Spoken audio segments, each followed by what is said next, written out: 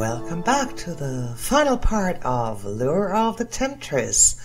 Well, now that we killed this guard, we can proceed to hopefully defeat Selena and Joy. It's all automatic.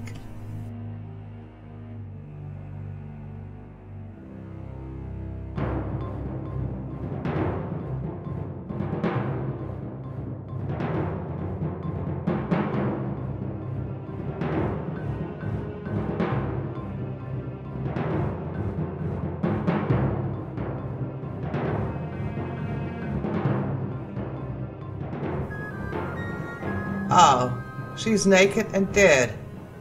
We defeated Selena without doing anything. He did it all by himself.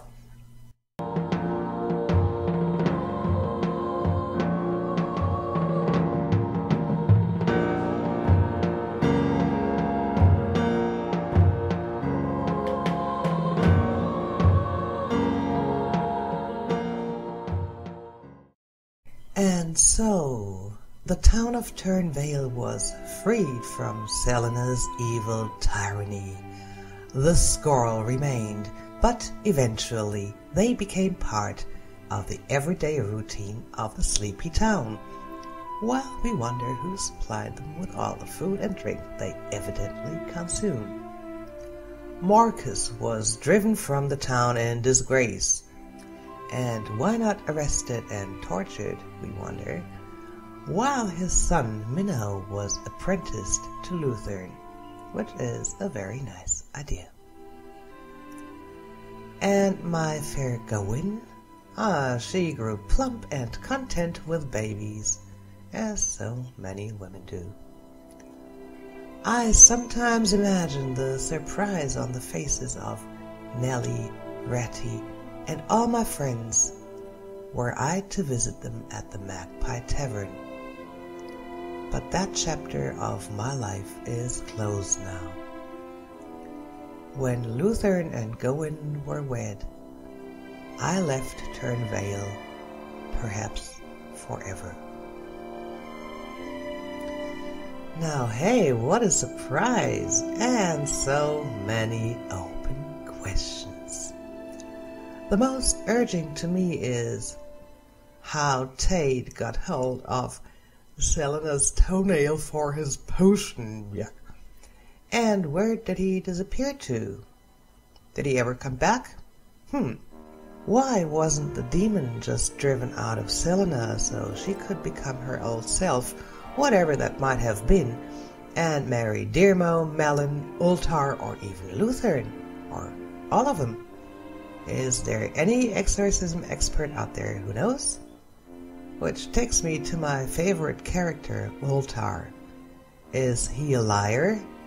In the beginning he said he came to hunt and to kill the dragon.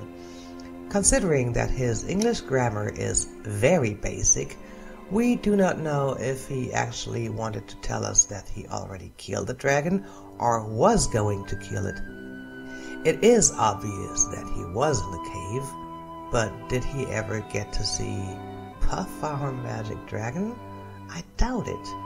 Yet, Ultar is the best. And there's more. Who owned the abandoned shop? Might it have been Edwina's father, Leek Sheep Dipper? We never found out.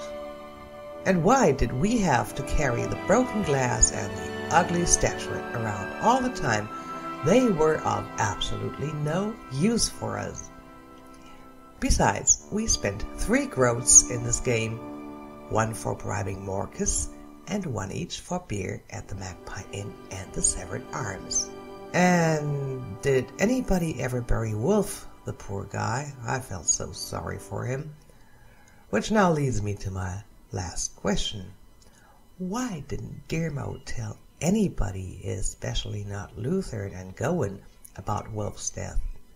And why didn't he reveal his name to none of the characters? Thinking about it, it reminds me of Where did he come from and when will he return? Pharkas, Freddy Pharkas. Well, all this gives us something to ponder about, and my friends, that's the end of this Let's Play. Yet, while playing through it so many times, and not only playing, uh, I noticed that there must be about a dozen ways to finish it. So, there will be some outtakes pretty soon with scenes I missed in this recording, including a death scene and some more interesting dialogues and statements especially from our gossip queen, Gwen. So, thanks for watching and stay tuned and now enjoy the credits.